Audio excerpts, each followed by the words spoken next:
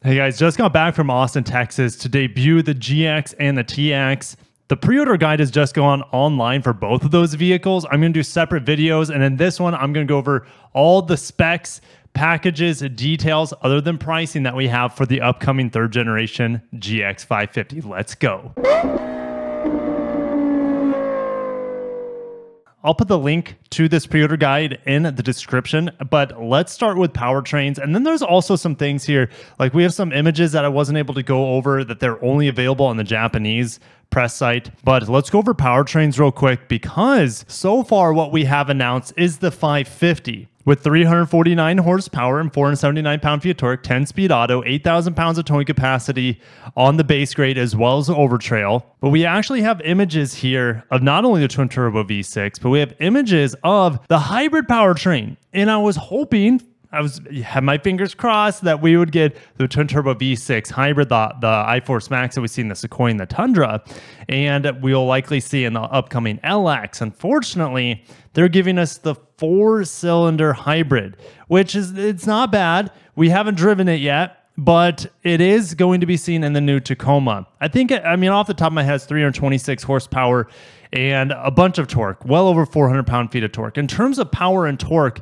it matches up well with the twin turbo V6 but we'll get slightly better fuel economy. So we get what 17 miles per gallon with the twin turbo V6. We'll probably see over 20 miles per gallon with the hybrid setup, which is great. That's a huge improvement over the 15, 16 miles per gallon uh, that we have on the GX460 V8. But the biggest thing that I think overlanders will want to use is the 2400 watts of continuous power, AC power outlets throughout the vehicle, just like we see in the new Tacoma. I personally would be wanting to go for the, the hybrid powertrain over the twin turbo V6. Offers similar similar torque and power, better fuel efficiency, and more versatility with the electrical output. I think it's safe to say that this is the electric motor in the bell housing, but I don't think this is the 10 speed automatic transmission. This could be an 8 speed automatic. Check this out. Look how long this 10 speed auto is here. And then you have the transfer case right here. The transfer case looks actually slightly different on both of them. And both of them will be 4x4, I would assume, full time. But more than likely, this is the 8 speed automatic transmission that we see in the Tacoma. But I could be wrong. Time will tell. Us. So stay tuned. We don't have official details on this powertrain other than the images. And when could we expect to see that hybrid powertrain? My guess would be 2025 uh, calendar year. So it launches early 2024 and maybe availability in the hybrid in 2025. All right, so this is a lot to digest. We'll get into the trim levels actually last because that is going to be a grind fest of details and segmentation. But let's get into the colors. I hadn't gone over the over the covers when I did my walkarounds. Ebonite White Pearl.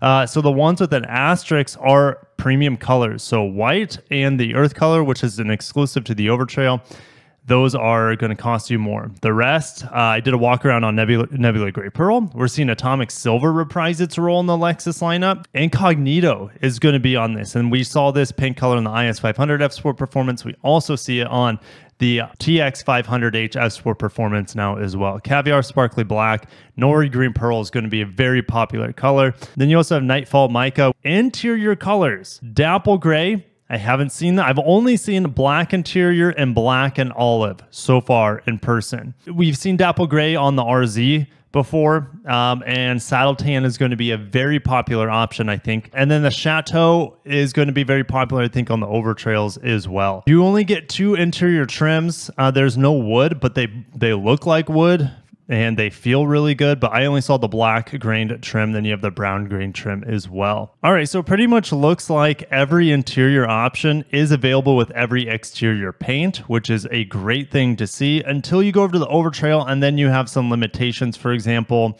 like Nebula Gray Pearls just not available, or is Nightfall Mica. Uh, but the rest of the trim levels come with your options there. Going through the images, we have, I believe this is Atomic Silver. Again, the lighting's a bit weird. It's easier to tell in person.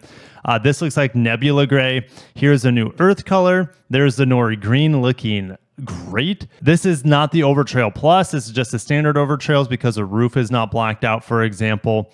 But we do still have those large 33 inch wheels. There's Nori Green with a paint matched roof. Ebonite White Pearl actually looks pretty cool here with the, the white and black Stormtrooper going on We have the base Overtrail here uh, with the sparkly black caviar. There's eminent white pearl on, I mean, luxury. Look at these huge 22 inch wheels. It looks really cool with 22s on it. Haven't seen it in person with 22s, only the 20s and the 18s at this point in time. Okay, there's Nightfall Mica. Nightfall Mica does not look like this, ladies and gentlemen. In person, it's very dark. It's almost like a purplish, blackish blue. It does not look, this almost looks like ultrasonic blue mica, which is not, not the case. Here's your different wheel options. Here are your 20 inch wheel options, which you have two different shades of, of the machine finish. And then you have uh, the huge 22 inch wheels, which I, I actually like these wheels quite a bit for uh, the luxury models. Interior. So here we're looking at dapple gray and you have this interior like orange accommodation, which I don't know how to feel about that orange felt like piece on the door inserts. Here's the Chateau with olive. This is an overtrail where you can only get the olive and Chateau, and overtrails only have two rows of seats. Here's an overtrail with the black and the olive, which I saw at uh, in Austin. Here's the third row of seats. This is the first time we've seen the, uh, at least I've i am looking at the seven row or the seven seater option with the three row. And this looks like to have some good space between the second and third row here. Here is that saddle tan uh, with the matching door inserts as well with the, the sunshades.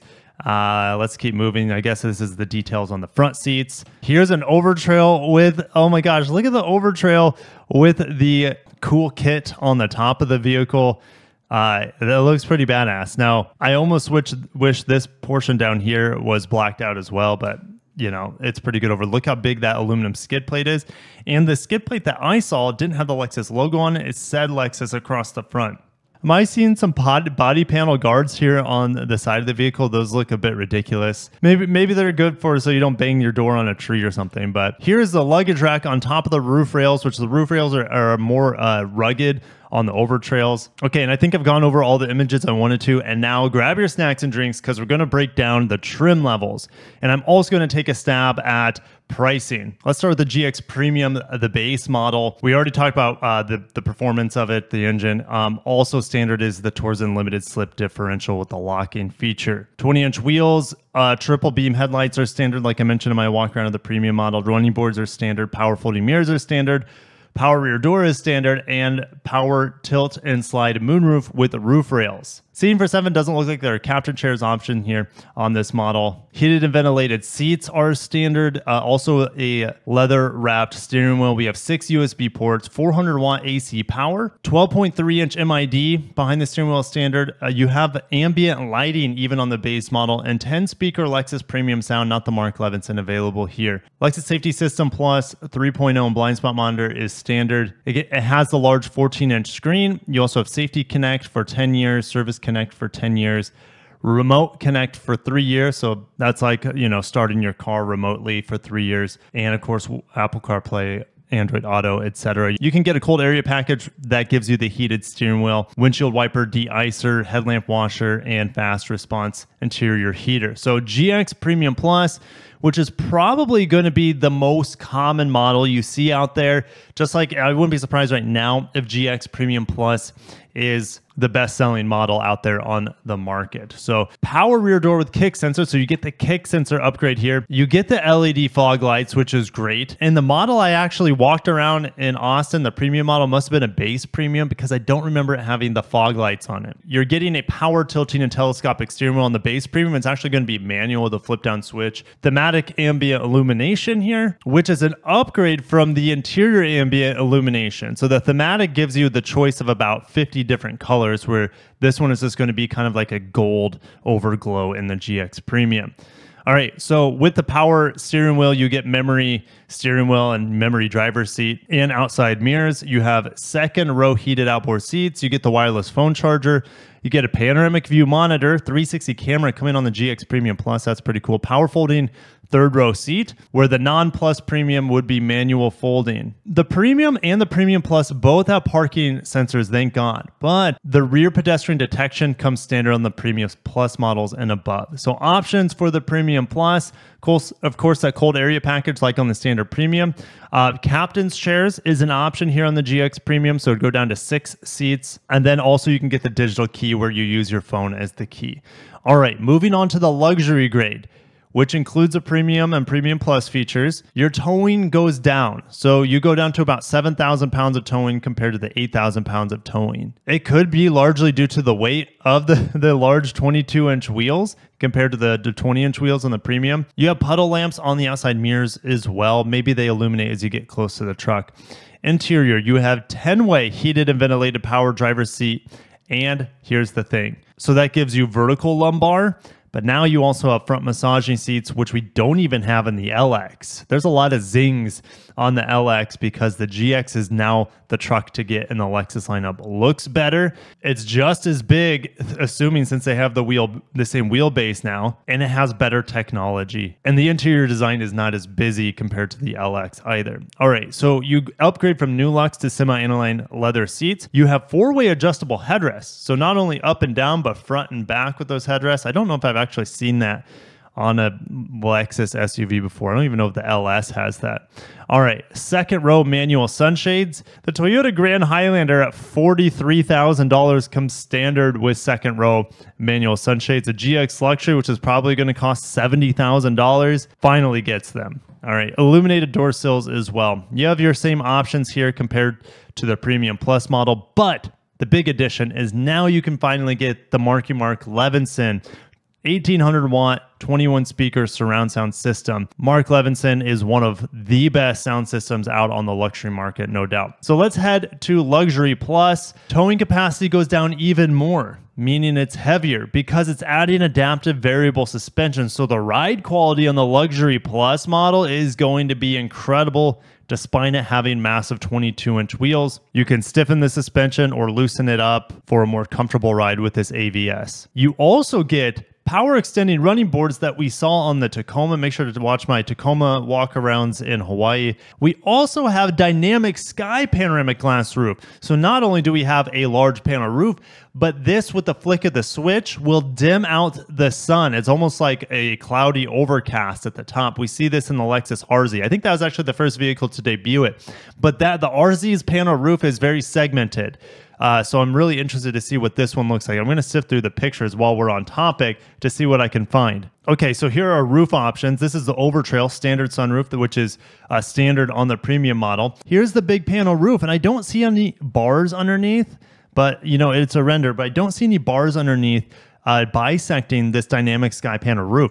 The LX doesn't even have a panel roof, let alone a dynamic sky one that is flick like dimmable with a flick of the switch. And here is a GX without a sunroof, which for our market, we won't have this option to get your GX without a sunroof. It comes standard on our most basic premium grade. so interesting, there will be GXs offered around the world with lesser equipped models. All right, back to the luxury plus grade, we have the Marky Mark standard. You also have the digital review mirror standard, which is, I, I don't even think it's an option on the previous models. And you also have the cool box, which some of you guys might not want to have that standard, maybe as an option because it, it reduces your interior capacity underneath the armrest. And the Luxury Plus doesn't lock you into captain's chairs. It's still an option here, just like the previous grades. All right, so moving to the Overtrail, it is built off the premium model. So it's going to be somewhere probably between luxury features and premium plus features.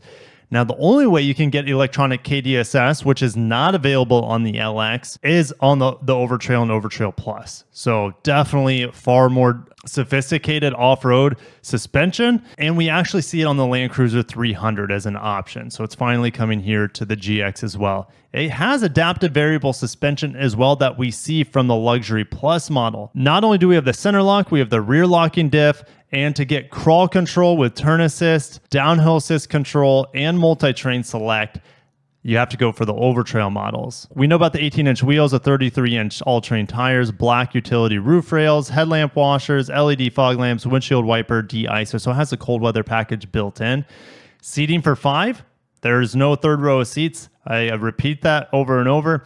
Heated steering wheel is standard. Four USB C ports. Why would you have six if there's no one in the back? But hey, maybe people back there would have appreciated those USB Cs if they're going to be spending some time behind the third row or the second row. Some options for the GX Overtrail, not the Overtrail Plus, is a panoramic view monitor as well as the multi-terrain monitor and the, the cool box. So the Overtrail Plus will be at least as expensive as a Luxury Plus. I'm, I'm anticipating and stay tuned to afterwards. I'll go over pricing or at least my expectations. So power rear door with kick sensor and outside mirrors with puddle lamps is standard over the base model. You get a power tilting and telescopic steering wheel, unlike the manual on the GX Overtrail base model. You get thematic ambient illumination here on the Overtrail Plus, memory seat here, heated outboard seats in the back, wireless phone charger, 10 way heated and ventilated a power driver seat like we see on the luxury model, for example. Massaging front seats like the luxury model as well. Four way adjustable headrest, second row manual sunshade, illuminated door sills. You have rear pedestrian detection here. And, and interesting, the Mark Levinson isn't standard here, it is an option on the Overtrail Plus. Individual options on all models is going to be traffic jam assist. It's not my favorite cup of tea. Uh, you also have a head-up display, and that explains why the GX Premium I saw in Austin, Texas had it because it's an individual option, as well as the tonneau cover, which is no longer standard. How about that? All right, now time for pricing. Well, the GX start. Let's just say the GX starts at about sixty thousand dollars. So GX Premium, sixty-five thousand dollars probably after destination. GX Premium Plus, around $70,000. GX Luxury, $75,000. Luxury Plus, $80,000.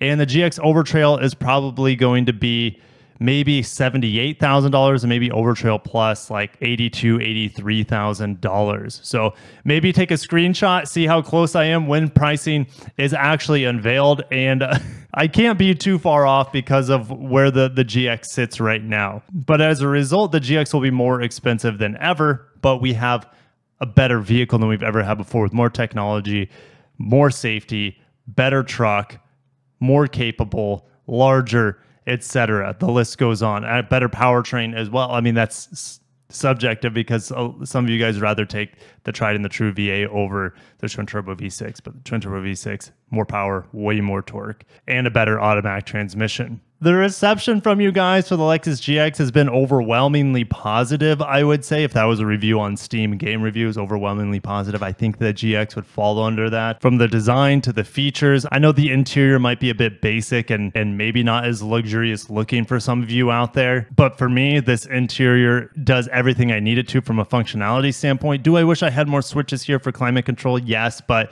I've gotten used to the Lexus touch system and their automatic climate control is really good 99% of the time. I can't say that for a lot of other manufacturers with their automatic climate control. But I'm going to end it there. Thank you guys for watching. If you're excited for the GX, of course you are, smash the like button. The media drive should be around when this vehicle launches, so that could be around January. I'll be there for that. We might get 4Runner or Land Cruiser revealed before January as well. So definitely come back. I can't wait to share more Toyota body on frame pickup truck SUV news with you guys. Have a great day and peace.